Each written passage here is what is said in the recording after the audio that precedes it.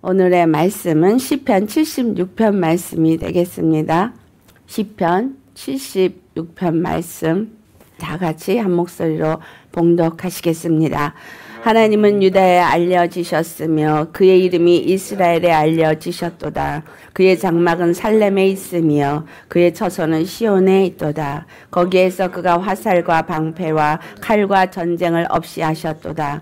주는 약탈한 산에서 영화로우시며 존귀하시도다. 마음이 강한 자도 가진 것을 빼앗기고 잠에 빠질 것이며 장사들도 모두 그들에게 도움을 줄 손을 만날 수 없도다. 야곱의 하나님이여 주께서 꾸짖으심에 병거와 말이 다 깊이 잠들었나이다. 주께서는 경외 받으 이시니 주께서 한 번 노하실 때에 누가 주의 목전에 서리까 주께서 하늘에서 판결을 선포하심에 땅이 두려워 잠잠하였나니 곧 하나님이 땅의 모든 온유한 자를 구원하시려고 심판하러 일어나신 때로다. 진실로 사람의 노여움은 주를 찬송하게 될 것이요. 그 남은 노여움은 주께서 금하시리이다. 너희는 여호와 너희 하나님께 서원하고 갚으라. 사방에 있는 모든 사람도 마땅히 경외할 이에게 예물을 드릴지로다. 그가 고관들의 길을 꺾으시리니 그는 세상의 왕들에게 두려움이시로다. 아멘. 오늘 시편 76편은 무엇을 찬송하는 시인가 이 시편은 아삽이 썼다라고 기록이 되어져 있습니다. 그런데 언제 아삽이 이것을 썼느냐 하면은 아수르가 예루살렘에 와서 히스기야 왕 때에 성을 포위하고 그 성을 무너뜨리려고 했던 사건이 있었던 후입니다. 아수르가 이스라엘을 무너뜨리고 예루살렘을 무너뜨리고 대적하기 위해서 예루살렘을 둘러쌌으나 하나님이 그 아수르를 다 진멸하고 돌아가게 하고 산헤립이 죽임을 당하게 되어지는 하나님의 승리로 끝난 이후에 지은 서정시입니다. 이 시는 하나님께 완전히 영광과 존귀와 찬양을 올려드리는 시입니다. 하나님은 무엇에 대해서 지금 찬양을 드리고 있느냐. 1절의 말씀을 보니 하나님은 유다에 알려지셨으며 그의 이름이 이스라엘에 알려지셨도다 라고 말해요. 아니 하나님이 유다에 알려지고 이스라엘에 알려진 건 당연한데 왜 이런 말을 썼느냐. 하나님은 유다에게 어떻게 알려주셨느냐라는 거죠. 또 이스라엘에게 어떻게 알려지셨느냐라는 거예요. 신명기 4장 7절의 말씀에 기록된 것이 여호와께서는 이스라엘의 사람들이 기도를 할 때마다 그 기도를 들으실 만큼 그의 이름이 그들과 가까이 있다라고 표현을 할 정도로 하나님은 누구의 하나님이요? 이스라엘의 하나님이죠. 근데 여기는 지금 유다와 나누어서 말했어요. 이스라엘은 이름을 가진 열 왕국, 북왕국과 남왕국이 되는 유다라고 말하는 두 왕국. 로 나뉘어졌을 때에 하나님은 어느 편에 있었느냐 하면 유다 편에 있었다라고 그들이 생각하기 때문이에요. 유다 왕국이 하나님은 우리의 하나님이라고 생각하고 있고 또한 이스라엘이 하나님은 바로 우리의 하나님이다. 이스라엘의 하나님이다. 그렇게 생각하고 있어요. 그들이 항상 하나님께 가까이 나아가서 하나님께 부르짖는 이유 그것은 하나님이 그들과 함께 하기 때문이다. 근데 그 이유가 어디에 있느냐? 예루살렘 성전에 있기 때문이에요. 예루살렘 성전을 짓고 그 성전에 언약궤가 있기 때문에 하나님은 우리와 함께 하시고 그 언약궤가 있는 성소를 향해서 지성소를 향해서 그들이 기도를 하면 하나님이 우리의 기도를 들으신다. 이와 같이 우리의 기도를 들으시고 우리와 가까이 하시는 신이 어디 있느냐라고 말한 것이 신명기 4장 7절의 말씀이에요. 하나님이 그들과 함께하고 그들의 모든 걸음걸음에 함께했기 때문에 그 약속하신 하나님이 약속대로 그들과 함께 이루시고 그 애굽에서부터 그들을 건져내신 하나님 모든 이적과 표적을 행한 것들이 애굽에서의 모든 이적과 표적은 애굽의 신들이었고 그 신들을 다 무너뜨리고 진멸하시고 승리하시고 이스라엘을 구원하신 하나님. 이와 같은 신 민족을 위해서 싸우시는 신이 어디 있느냐? 그리고 민족을 민족에게서 건져낸 신이 어디 있느냐? 바로 그 말이에요. 이스라엘에게 알려진 하나님은 이스라엘의 구원의 하나님이다라는 거예요.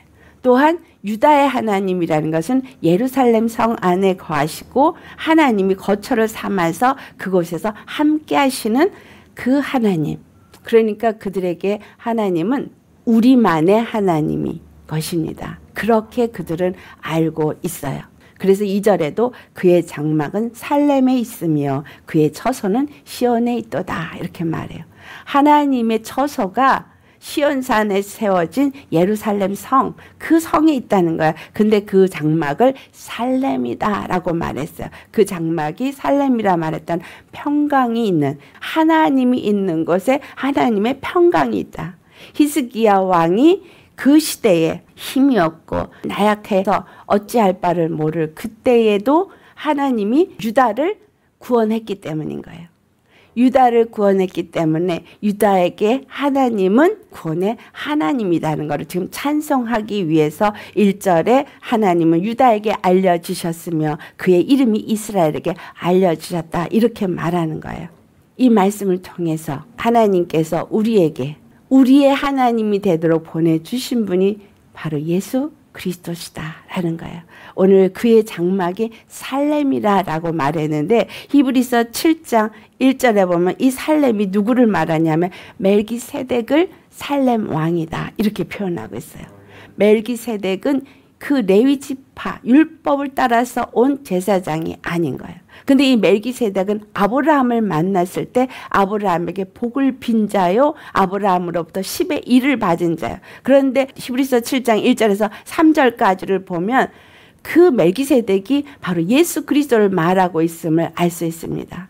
살레망이요 제사장으로서 레위 지파 그 율법을 따라 세워지는 지파의 계열을 따라 온 자가 아니라 별도의 다른 반차를 따라서 온 자라고 표현하고 있어요. 근데 아비도 없고 어미도 없고 시작도 없고 끝도 없는 분이시다. 하나님이 하나님의 제사장으로 이 땅에 오신 분은 예수 그리스도시죠. 예수님이 우리의 영원한 대제사장이 되어 지셨는데 그분이 살렘 왕이다. 그 살렘 왕이 우리에게 진정한 살렘으로서 진정한 시온으로서 어디에 거하고 있느냐라는 거예요. 오늘 우리가 찬송을 부를 때 구주와 함께 나 죽었으니 구주와 함께 나 살았도다. 그 말씀이 너무나 너무나 은혜의 말씀입니다. 무슨 말이냐? 내가 구주와 함께 죽고 구주와 함께 살았다는 말을 구주와 함께 한다는 거잖아요.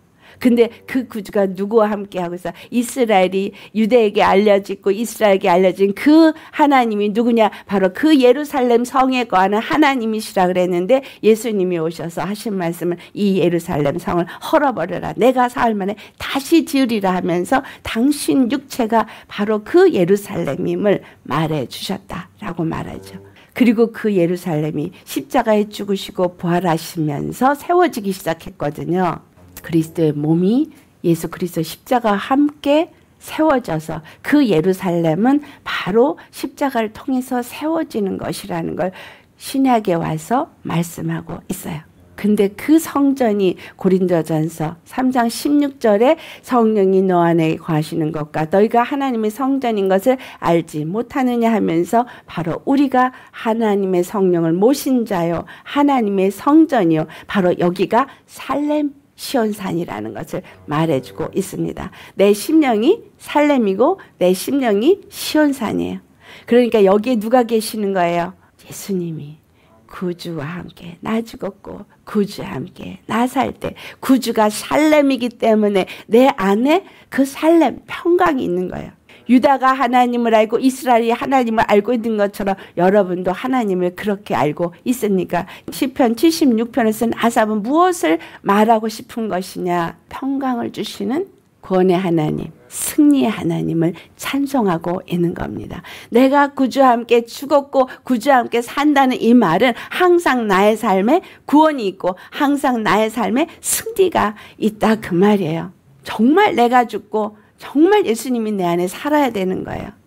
내가 육체 가운데 사는 것은 나를 사랑하사 나를 위하여 자기 몸을 버리신 하나님의 아들을 믿는 믿음 안에 사는 것이 바로 내가 사는 삶이라는 것이 바로 그 의미를 주고 있는 거예요. 예수님이 이 땅에 오셔서 우리에게 진정한 평강과 진정한 자유와 진정한 안식을 주기 위해서 행하신 일은 십자가에 죽으시고 부활하신 것 뿐입니다. 십자가에 죽으실 때 이 땅에 우리가 받을 모든 고통, 모든 고난, 모든 질병, 이 모든 것을 다 그 몸에 담당하셨다는 거예요.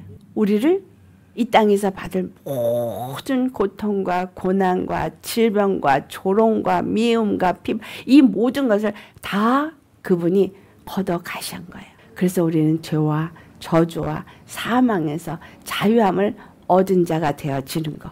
믿음으로 예수 그리스도 안에 거할 때 진정한 자유를 얻는 자가 되는 거예요. 그래서 요한복음 8장 32절에 진리를 알지니 진리가 너를 자유케 하리라 라고 말씀하시는 겁니다. 유다에게 하나님이 알려주셨고 이스라엘에게 하나님이 알려주신 것처럼 우리에게 하나님이 알려주셨어요. 예수 그리스도 십자가 복음이 알려주셨어요. 중요한 건 알려져서 귀로 들은 것이 중요한 게 아니에요. 들은 것 때문에 입으로 그렇다라고 말하는 게 중요한 게 아닌 거예요. 무엇이 중요하냐? 진정으로 나의 구원의 하나님이냐가 중요한 거예요. 진정으로 이 소식은 많이 듣습니다. 식구 중에 대표로 누가 잘 믿으면 그 식구가 다 구원을 받는 게 아니기 때문인 거예요. 각각에게 들려지고 각각에게 요구하고 있는 거죠. 각각 예수 그리스도를 영접하고 각각 회개를 하고 각각 죄사함을 받고 각각 성령을 선물로 받아야 진리 안에서 자유화가 되는 거예요. 진리 안에서 자유함을 얻는다는 건 구원을 맛본 자가 되어진다는 거죠. 우리는 이 소식을 들었지만 영접하는 것도 각각이요. 회개를 함으로 제사함을 받는 것도 각각이요. 성령을 받는 것도 각각이기 때문에 내가 들은 것이 내 것이 아닌 거예요. 사내립이 이스라엘을 쳐들어왔어요. 다 초토화시키고 예루살렘을 들어와서 포위를 했어요. 그런데 실제로 아수르에서부터 해방을 받는 이 예루살렘 성 어떻게 해서 이들이 구원을 받았느냐라는 거예요. 히스기야가 하나님 앞에 나아가서 엎드려 회개하며 기도했다라는 거예요. 그리고 백성들에게 너희는 아무 말도 하지 말라. 그냥 잠잠해라. 라고 말했어요. 사내립이 쳐들어왔고 랍사게가 와서 하나님을 모욕하고 예루살렘을 향해서 이스라엘 향해서 모욕하면서 한 말은 하나님이 너희를 구원할 수 있다고 하는데 절대 이룰 수 없다라는 말을 했어요. 하나님이 너희의 하나님이 너희를 구원한다고 하는데 봐라 모든 나라들이 나를 이긴 자가 있느냐인 거예요. 사내립이 그만큼 강건해져서 누구도 그를 이기지 못하고 다 굴복한 것처럼 너희 하나님도 마찬가지라고 말했어요. 그때 하나님은 그 소리를 들으셨어요. 히스기야 왕은 힘이 없어서 하나님 앞에 나아가서 성전에서 엎드려 눈물로 하나님 앞에 기도를 했습니다. 그때 하나님이 누구를 보내요? 이사야 선지자를 보냅니다. 이사야 선지자를 보내서 그에게 하나님이 어떻게 하실 것을 말씀하십니다. 우리 이사야서를 한번 찾아서 보실까요? 하나님께서 이사에게 하신 말씀을 보면 히스기야가 지금 어느 정도에 놓여 있는가, 유다가 지금 어떤 상태인가를 이사에서 37장 3절에 말하고 있어요. 우리 이사에서 37장 3절 말씀을 먼저 보시겠습니다. 그들이 이사에게 이르되 히스기야의 말씀에 오늘은 환란과 책벌과 능욕의 날이라 아이를 낳으려 하나 해산할 힘이 없음 같도다. 그렇게 말하고 있어요. 여자가 아이를 낳는 것으로 표현하고 있어요. 그러면 이 유다 왕국이 여자다 이 말이죠. 시온산 살렘이 아기를 낳으려고 하는데 아기를 낳을 힘이 없다. 그 말은 뭐예요? 하나님이 거기 계시다고 하지만 하나님이 나타나지를 않고 있는 거예요. 오늘 우리가 교회를 다니고 있고 교회라고 말을 하고 있는데 내가 하나님의 여자로서 교회로서 아이를 낳을 힘이 있느냐라는 거예요. 여러 가지 일어나고 있는 일들 때문에 넘어지고 쓰러지고 힘이 없고 나약해서 도무지 예수님의 생명은 가졌다고 하나 교회가 자녀를 낳을 힘이 없는 거. 그 상태를 말하고 있죠. 예수 그리스도의 생명이 내 안에서 날마다 나타나고 예수 그리스도의 생명의 열매를 날마다 맺을 만큼 여러분 정말 해산에 힘이 있는 사람입니까? 예수님의 성전인 내가 그 예수님을 나타낼 수 있는 그 당당함에 그 웅장함과 위엄과 하나님의 능력이 나타나는 그런 교회 모습을 갖고 있느냐 이 말이에요. 히스기야 왕과 예루살렘의 유다 백성들은 그와 같은 힘이 없어서 지금 사내립의 공격에 어찌할 바를 모르고 그 랍사계의 비난과 하나님의 이름을 모독하는 것을 대적할 힘이 없었다는 거예요. 6절과 7절 말씀 우리 같이 봉독합니다. 이사야가 그들에게 이르되 너희는 너희 주에게 이렇게 말하라 여호와께서 이같이 말씀하시되 너희가 들은 바 아수르 왕의 종들이 나를 능욕한 말로 말미암아 두려워하지 말라 보라 내가 영을 그의 속에 두리니 그가 소문을 듣고 그의 곡으로 돌아갈 것이며 또 내가 그를 그의 고국에서 칼에 죽게 하리라 하셨느니라 하니라 아멘. 주님께서 이와 같은 말씀을 히스기야 왕에게 이사의 입술을 통해서 전하고 있습니다. 무슨 말을 지금 하고 있어요? 두려워하지 말라는 말. 그들이 하나님을 모독하는 말을 하나님께서 다 들으셨다라는 거예요. 우리가 이 땅을 살면서 사람들에게 모독받을 만한 어떤 말을 들어도 걱정하지 말아야 할 것을 말하고 있어요. 하나님은 다른 신과 다르다는 거예요. 하나님은 살아계신 하나님이세요. 하나님은 무서부대하신 하나님이세요. 하나님은 모든 것을 보시고 모든 것을 아시는 하나님이에요. 하나도 그분 앞에 감춰줄 수 있는 것이 없는 그런 하나님이신 거예요. 그러니 이와 같이 랍사게가 히스기야를 향해서 그 예루살렘 성에 거하는 백성들을 향해서 하는 말을 하나님이 듣지 못하시는 분이 아니라는 거예요. 귀머거리가 아니라는 거죠. 다 들으시고 그런데 주님이 왜 오늘날 교회가 무너져도 잠잠하고 계시느냐? 하나님은 그 모든 것을 통해서 하나님의 뜻을 이루시고 하나님의 이름을 나타내십니다.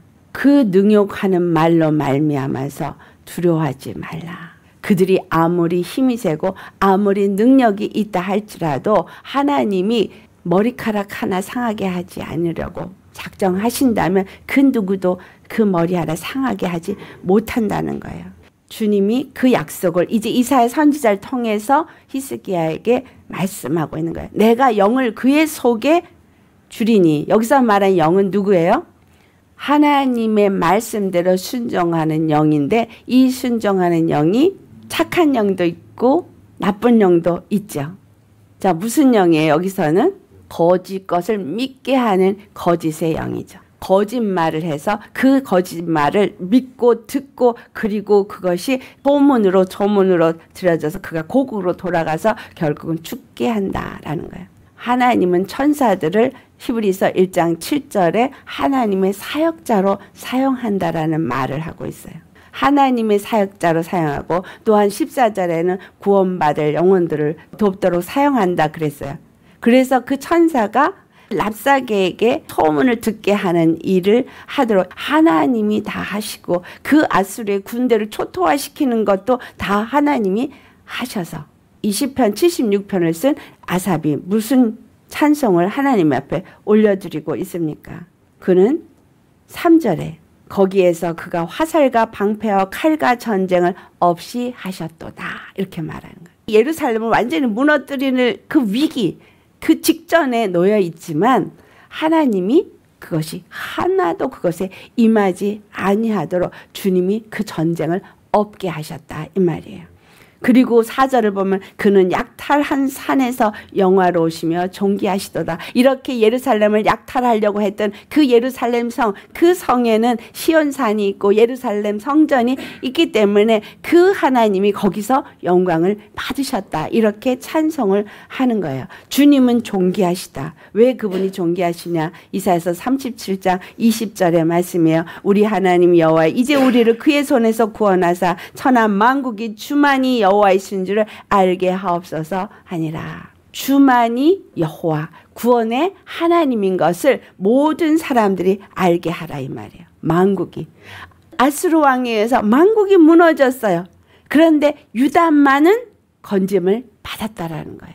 그래서 유다에게 어떻게 알려주셨어요? 하나님은 유다의 구원의 하나님이시다라고 알려주신 거예요. 나는 예수 그리스도를 믿고 예수 그리스도 안에서 죽고 예수 그리스도 사는 자가 되어져서 나는 무너지지 않고 나는 구원을 받은 자가 되어지면 하나님은 누구의 하나님 되는 거예요? 나의 하나님이 되는 거예요. 나의 구원의 하나님이 되는 거예요.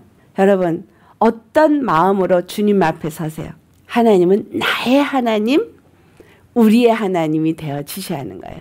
귀로만 듣는 하나님이 아니라 실제로 경험하는 하나님. 말로만 귀로만 누가 말하는 걸 귀로 듣고 그런가 하는 예수 그리스도의 십자가의 복음이 아니라 실상적으로 내가 구원을 받고 내가 진리를 얻는 그 복음이 내 것이 되어져서 나의 하나님이 되어야 된다라는 거예요.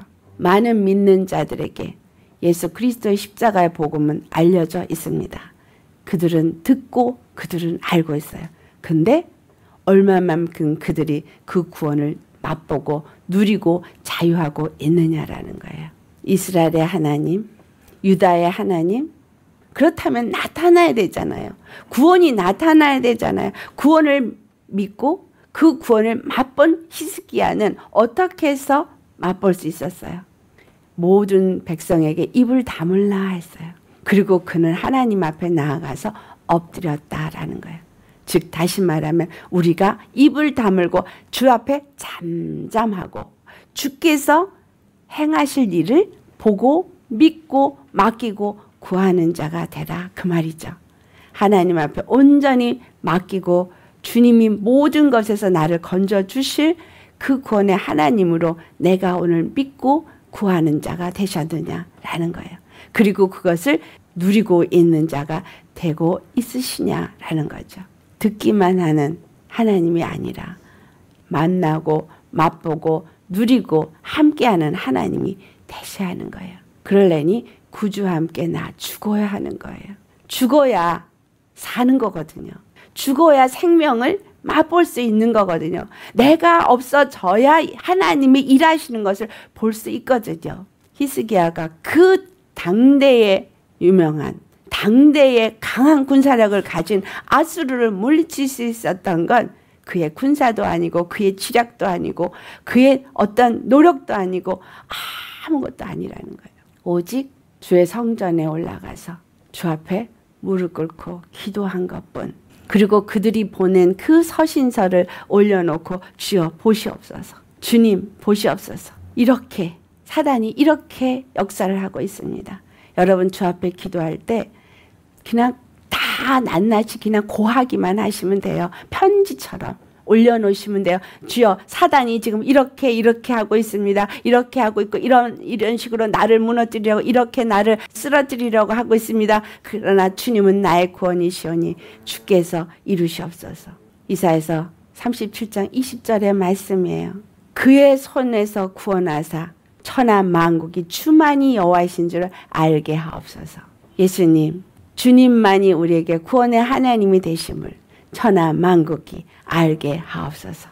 그래서 이 약속하신 말씀대로 역대하 32장 21절을 보면 한 천사를 여호와께서 보내서 아수르 왕의 영에서 큰 용사나 대장과 장관들이나 다 멸하는 역사가 일어납니다. 그가 고국으로 돌아가서 자기 신의 전에 들어가서 거기서 그들의 신에게 엎드렸지만 그의 몸에서 난 자에 의해서 죽임을 당하게 됩니다. 하나님이 말씀하신 대로 그대로 이루어졌어요.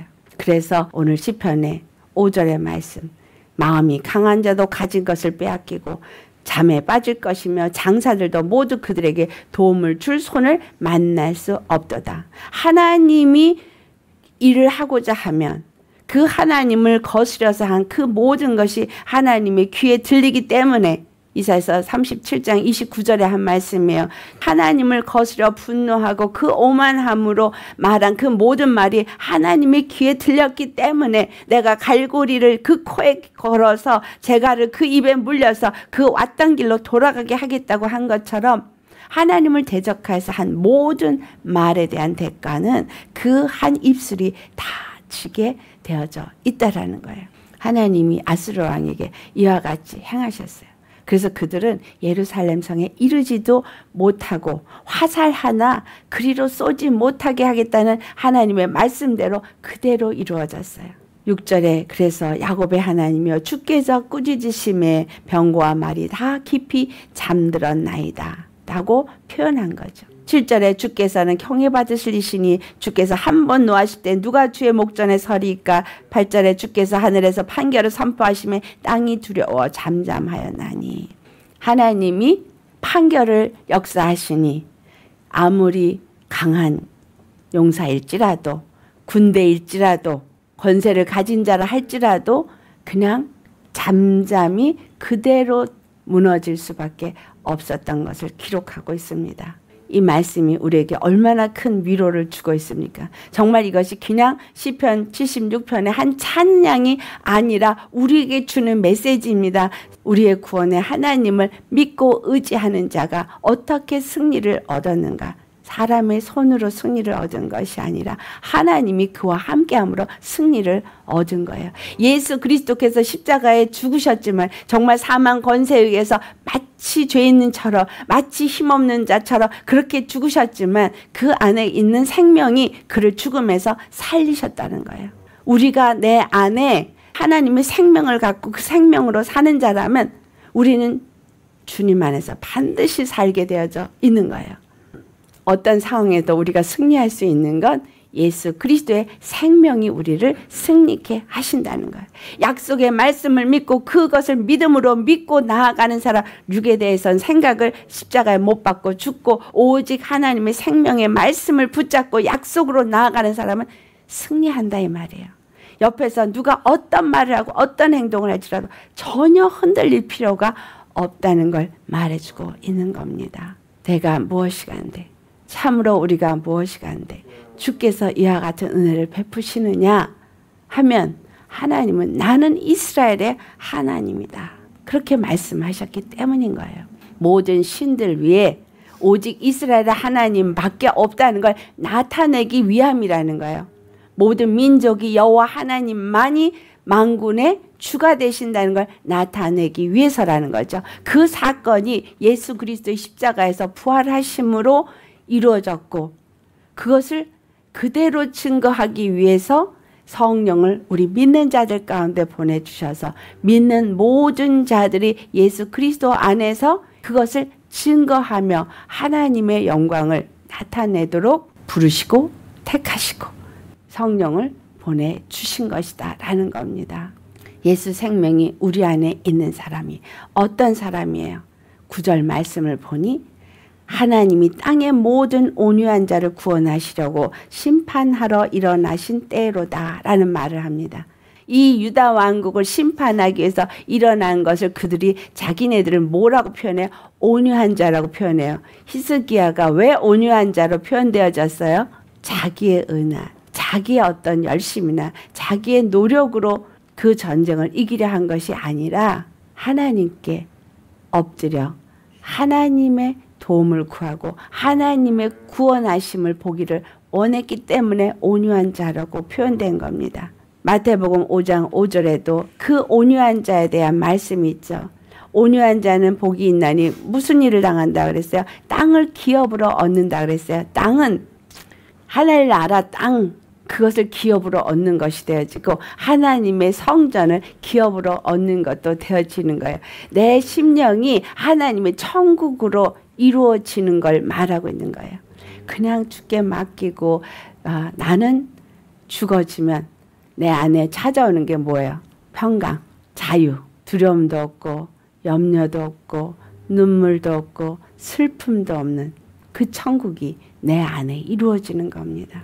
그 천국이 이루어진 게 땅을 기업으로 얻는 건데 땅을 기업으로 얻는 것이 바로 온유한 자라고 표현했고 아 그래서 히스기야가 이렇게 온유한 자로 주님 앞에 구원을 받기 위해서 그 구원을 구하였고 오직 여호와만이 만군의 여호와가 되심을 나타내시도록 주 앞에 기도하였기 때문에 그 일이 일어나서 하나님이 심판하기 위해서 일어나고 아수르를 심판하시고 하나님만이 유다의 하나님이 되신 것을 나타내셨다. 그 말이에요. 그래서 유다에게 알려졌고 이스라엘에게 알려졌다 그 말이죠. 우리에게 구원이 이루어져야 알려지고 알려지는 거야. 누구만 구원이 있음을 예수님만이 구원이 있음을 나의 하나님만이 참 구원이심을 그러면 너의 하나님은 어떤 분이냐 나의 하나님은 십자가에서 죽으시고 부활하신 하나님이시다. 그래서 나도 십자가에 죽고 예수 그리스도를 믿는 믿음으로 산다. 그렇기 때문에 사도 베드로는 베드로전서 3장 4절에 우리 한번 찾아보시겠어요? 베드로전서 3장 4절의 말씀. 같이 봉독합니다. 오직 마음에 숨은 사람을 온유하고 안정한 심령에 썩지 아니할 것으로 하라. 이는 하나님 앞에 값진 것이니라. 마음에 숨은 사람은 속 사람인가요? 예수 그리스도를 영접하고 거듭난 사람. 이 속사람이죠. 그 이 속사람이 우리 마음 안에 숨은 사람인데 이 속사람이 예수 그리스도 안에서 온유하게 오직 주님만을 바라보는 사람이죠. 그러니까 이 땅을 살면서 내 육의 사람 겉사람으로 살지 말라 이 말이에요. 겉사람의 생각으로 살지 말고 겉사람의 어떤 마음으로 사는 것이 아니라 내 속사람이 주님 앞에 그냥 믿고 주님 앞에 그냥 회개하고 주님 앞에 그냥 엎드린 온유한 사람, 온유한 심정이거든요. 그 심정으로 하라는 거예요. 우리 심령이 그럴 때 안정된 심령이 되는 거죠.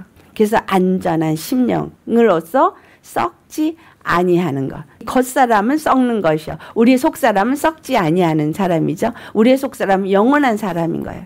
근데 속사람은 거듭나서 있다고 하면서 사는 삶을 겉사람으로 썩는 사람으로 자꾸 생각하고 말하고 행하고 하니까 이게 온유함으로 하질 않는 거예요. 삐죽빼죽 뭐가 나고 그래서 다른 사람 찔리고 아프게 하고 근심을 꽉 쳐서 옆에 있는 사람들도 다 근심으로 어둡게 하고 분위기를 다 망치고 이런 사람이 있어요. 예수님은 믿는 사람인데 우리는 우리 안에 있는 속사람, 온유한 사람, 예수 그리스도와 함께 죽고 예수 그리스도와 함께 사는 사람 그런 사람으로 모든 일을 행하시는 안정된 심령으로 사는 분이 되시기를 축원합니다. 10절을 보니 진실로 사람의 노여움은 주를 찬송하게 될 것이요 그 남은 노여움은 주께서 금하시리다. 도대체 이게 무슨 소리지? 하나님이 사람에 대해서 이제 진노하심이 임할 때에 하나님이 심판이 이 땅에 임해서 계속해서 기근과 적신과 핍박과 여러 가지 많은 일들이 재앙들이 끊임없이 일어날 것인 거예요. 마지막 때 많은 재앙들이 끊임없이 일어날 것을 말하고 있죠. 마태복음의 24장에 그 일들을 말하지만 그때의 22절 말씀을 보면 그 날들을 감하시겠다라는 말씀을 하세요. 그 날을 왜 감하시냐? 모든 육체가 구원을 얻지 못할 것이지만 그 중에 택한 자들을 위하여서 그 날을 감하신다라고 말하고 있어요. 하나님 앞에 그냥 오직 예수 그리스도 앞에 그냥 나는 죽었어 하고 있는 사람들이 누구였었어요? 다니엘서를 보면 바벨론에 끌려갔다가 거기서 누부갓네살 신상에게 절하라고 해도 거기에 절하지 아니하고 예루살렘을 향해서 하나님께 여호와께만 절했던 다니엘 그리고 그 세 친구 이런 사람들이 기록되어져 있죠. 그래서 그들이 사자굴에도 던져지고 풀무불에도 던져졌지만 하나님이 그들을 보호하셔서 그들을 머리카락 하나 상하게 하지 못했다는 거죠. 이 아수르에서 구원한 거나 다니엘을 사자굴에서 구원한 거나 다 같은 의미를 주고 있어요. 우리가 이 땅을 사는 동안에 어떤 일을 만날는지 모르지만 또 현재 어떤 일을 만나서 힘들고 어려운 가운데 있다 할지라도 결단코 나를 죽이지 못하도록 주님이 딱 생명사기 속에 보여주면 나는 죽지 않는다는 거예요. 그리고 그 고통을 육체는 연약해서 이 육체는 항상 고통을 당하게 있어요. 이 겉사람은 날로 후패하게 되어져 있어요. 그러나 그 나를 감하신다 이 말이에요. 주님 안에서 그와 같이 믿음으로 나아가고자 하는 자들을 위해서 그 나를 감하실 때 우리는 주님 앞에 그러니까 주님이 언제 임하실는지 알지 못하고 주님의 구원이 나에게서 온전히 일어나고 그 영광을 찬송받으시게 하여야 하기 때문에 너희는 그 주님의 은혜를 맛보기 위해서 주님의 구원을 맛보기 위해서 11절에 이렇게 너희를 구원한 하나님을 향해서 너희의 소원한 것을 빨리 갚으라 그 말이에요. 왜 그 말을 했어요? 서원한 것을 갚지 않으면 하나님의 진노가 임하기 때문에 반드시 서원한 것은 갚아야 한다는 거죠. 우리 주님 안에서 모든 사람이 마땅히 경외할 이에게 예물을 드릴지어다. 예수님 앞에 나올 때 그들이 예물을 갖고 왔어요. 감사의 예물, 화목의 예물, 번제의 예물, 속죄제의 예물, 그와 같은 예물을 갖고 와서야만 그들이 하나님을 만날 수 있었던 것처럼 우리 주 예수 그리스도가 나와 하나님 앞에 만나줄 예물인데 그것을 내가 만난 사람이라면 주님 앞에 나올 때 빈손으로 나오지 않는다는 거예요. 내가 주님 앞에 어떻게 나와서 예물을 드리느냐? 내가 주 안에서 속죄함을 받은 자이기 때문에. 또 내가 감사함으로 감사의 예물을 가지고 나오고 주 안에서 함께 세워져 가는 것을 위해서 내가 나를 드려지고 물질을 드리고 또 기도를 드리고 하나님 앞에서 또 몸을 드리고 시간을 드리고 이러면서 주님 안에서 한 몸인 한 교회를 세워가는 그 일을 이루어 가는 것. 모두가 기뻐하고 즐거워하고 배부르고 모두가 풍족함을 얻을 수 있게 하기 위함. 그래서 예수 그리스도가 우리의 10의 1이 되어 주셨어요. 우리가 예수님 앞에 나오면 예수님의 그 10의 1로 드려진 것을 우리 모두가 풍족하게 다 누려야 되잖아요. 그러니까 모두가 은혜 받고 예수님의 생명으로 충만해지고 부족함이 하나도 없어야 돼요. 근데 우리가 또 육으로 모일 때는 떡을 떼고 잔을 나누면서 먹잖아요. 그래서 이와 같이 먹고 마시고 하는 거를 10의 1로 하는 거예요. 예수 그리스도가 우리 앞에 첫 예물로 10의 1로 드려진 것을 기억하고 나누면서 감사하고 즐거워하고 사랑의 교제를 나누는 거. 화목해지는 거. 이것이 이루어져야 하는 것이다. 라는 거예요. 내가 주 앞에 은혜를 받았다면, 정말 구원을 받았다면, 그래서 주님 앞에 예물을 가지고 나와서 주의 이름을 찬양할 수 있는 자가 되라라는 거예요. 주님은 세상에 12절을 보니 그가 고관들의 길을 꺾으시니 했을 때 여기에서 원어를 보면 이 땅에 있는 모든 권세자들 왕자들의 영이라고 표현되고 있어요. 이 땅에 권세를 가진 자들 안에 있는 영 그래서 그것들이 뭔가 권세를 누리고 있지만 그 모든 것을 예수 그리스도 발 앞에 다 무릎 꿇게 하셨다는 거예요. 세상의 왕들에게 두려움이 되어지셔서 하늘에 있는 것들이나 땅에 있는 것들이나 땅 아래에 있는 것들이나 그 모든 권세를 다 예수 그리스도 그 십자가 앞에 무릎 꿇게 하시고 우리 주 예수 그리스도를 출하시나여 하나님 아버지께 영광을 돌리게 하신 사건. 이것은 부활 사건인 거예요. 그러니 우리 안에서 무슨 시, 신앙이 있어야 돼요? 부활 신앙. 부활의 권세. 그러면 부활 신앙을 갖는다고 믿고 그렇다고 이렇게 듣고 아는 거 이게 부활 신앙이 아니라 생명을 누리는 삶. 생명을 나타내는 삶. 생명이 가진 권세를 사용할 줄 아는 삶. 그것이 부활 신앙의 삶인 거예요. 예수님의 생명의 권세는 내가 결단코 어떤 사망의 권세도 흔들리지 않는 것. 거기에 눌리지도 않는 것. 오직 이 육의 사람을 주장하고 다스리고자 하는 사망 권세에게 속지 아니하고 내 속사람, 내 마음의 숨은 사람, 그가 가진 온유함으로 그가 가진 그 안정감이 나를 전부 지배할 수 있는 예수 그리스도와 함께 죽고 예수 그리스도와 함께 살아. 그 생명으로 매일 내 생각도 지배되고 내 마음도 지배되고 내 마음도 주 안에서 그와 같이 안정되고 평강을 누려서 승리하는 그러한 삶을 사는 자가 오늘 이 시편 76편의 찬양을 하나님 앞에 드릴 수 있는 자예요. 그러니까 주 앞에서 감사해서 감사의 예물도 드리고 감사해서 주 앞에 10의 1도 드리고 주 앞에 나의 서원의 예물도 드리고 주 앞에 나를 내 또한 제물로 드려서 오직 내가 생명을 가진 산제물이 되어져서 하나님 앞에 드려지고 하나님 앞에 영광과 존귀와 찬양을 올려 드릴 수 있는 자가 되는 겁니다. 우리 말씀 생각하시면서 내가 믿는 예수님 어떤 예수님 나의 하나님 정말 어떤 하나님인가를 다시 한번 여러분 안에 재정립시키면서 그 생명으로 날마다 승리하는 자 되시기를 예수님으로 축원합니다. 날마다 진실로 감사 찬양이 여러분의 입술에서 올려지기를 축원합니다. 다 같이 기도하시고 제가 마무리 기도하고 마치도록 하겠습니다. 할렐루야 거룩하신 아버지 시편 76편의 말씀을 통해서 아삽이 드린 하나님을 찬양하는 찬양이 아니라 이것은 곧 나의 찬양이요 나의 고백이 되어질 수 있게 하여 주옵소서. 감사합니다. 하나님이 유다에게 알려지고 이스라엘에게 알려진 것처럼 오늘 우리에게 정말 하나님이 어떤 하나님인지 알려졌고 우리 주 예수 그리스도의 십자가의 그 복음이 어떠한 것인지 알려져서 알고 있습니다.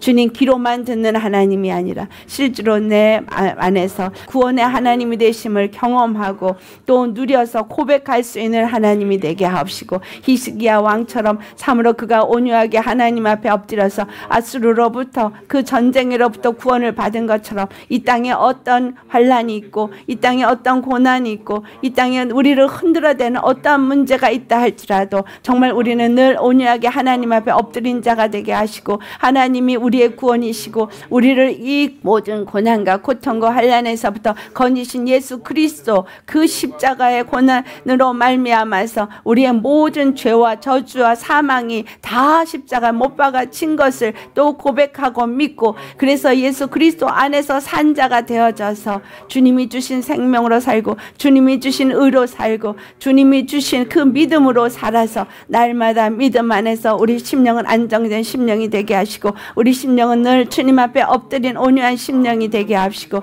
우리는 늘 예수님의 그 은혜로 말미암아 살아서 기뻐하고 감사하며 찬양하며 그 구원을 맛보는 자로 승리하게 하여 주옵소서. 예수님 그 어떤 관세도 두려워하지 않게 앞서서. 아무리 강한 권세가 있다 할지라도 아무리 유명한 자들이 있다 할지라도 아무리 세상에서 잘 나가는 자들이 있다 할지라도 그들이 우리를 조롱하고 핍박하고 우리를 비웃는다 할지라도 주여 어떤 것에도 흔들리지 아니하는 담대함을 우리 가운데 허락하여 주시옵소서. 이것은 오직 예수 그리스도께서 많은 자들 가운데서 우리를 택하셨고 부르셨고 하나님의 영광을 나타나기 위해서 우리를 우리를 자녀로 삼으셨기에 예수 그리스도 안에서 나는 죽고 예수 그리스도 안에서 나는 산자가 되었기에 아버지여 내 의로 내 힘으로 사는 것이 아니라 예수님의 의로 사는 자에게 예수님의 생명으로 사는 자에게 오직 예수님과 함께함으로 승리가 있기에 오직 예수님만 믿고 믿는 믿음으로 살아서 우리가 육체 가운데 산다 할지라도 참으로 육체 가운데 사는 자가 아니라 주님을 믿는 믿음으로 살고 우리 안에 거하신 예수님이 주신 그 평강을 누리고 그 자유를 누리는 진리 가운데 믿는 믿음으로 사는 자 되게 하여 주옵소서. 할렐루야 감사합니다. 오늘도 시편 76편을 통해서 참으로 산자의 하나님이 되시고 온유한 자의 하나님이 되심을 가르쳐 주시니 감사합니다. 하나님이 심판하기 위해서 일어서신다면 그 어느 누구도 그 앞에 대적할 자가 없습니다. 우리는 그 하나님, 만왕의 왕이신 하나님을 또 믿는 자가 되게 하신 이 축복을 받음에 감사드립니다. 사망 권세가 십자가에 못 박혔고 예수 그리스도의 부활과 함께 우리가 생명 안에서 왕노릇하는 자가 되게 하셨기에 이제는 예수 그리스도와 함께 죽은 자가 되어지고 그리스도와 함께 산 자가 되어져서 생명 안에서 사는 자가 될 수 있도록 주님의 의로 사는 자가 될 수 있도록 우리에게 믿음의 믿음을 더하여 주시옵소서. 그래서 이제는 세상의 어떤 것에도 흔들리거나 요동함이 없고 오직 예수님 안에서 믿는 믿음으로 승리할 수 있고 겉사람으로 사는 자가 아니라 우리 안에 속사람으로 온유한 자로 주 앞에 늘 엎드려 주님께 구하고 간구하고 맡기고 주님 안에서 주신 진리 안에서 자유를 누리고 평강을 누리고 안식을 누리는 자가 될 수 있게 하여 주옵소서. 예수님이 우리의 평강의 왕이 되시고 우리의 정말 예루살렘 성전이 되어 주셔서 우리로 주님의 성전으로 삼으시고 우리 안에 거하심으로 천국이 우리 안에 임하게 하셨는데 우리가 그 천국을 누리지 못함을 용서하여 주옵소서. 이제는 예수님이 우리 안에 천국이 되어져서 천국을 누리고 평강을 누리고 진정한 자유를 누리며 오직 주님께만 엎드린 자, 온유한 자, 주님의 이름만을 구하고 찾는 자, 그래서 날마다 예수 그리스도 안에서 구원을 맛보고 감사의 예물로 주 앞에 나아갈 수 있는 자 되게 하여 주옵소서. 아버지께서 창세전에 우리 주를 부르신 그 뜻이 우리 가운데 이루어져서 거룩한 이름만을 찬송하는 찬송의 기업이 되게 하옵시고 아버지 안에서 오직 그 권세만이 나타나고 구원만이 나타나 찬송하게 하여 주옵소서 감사하며 우리의 구원이 되시는 예수님의 이름 받들어 기도드옵나이다. 아멘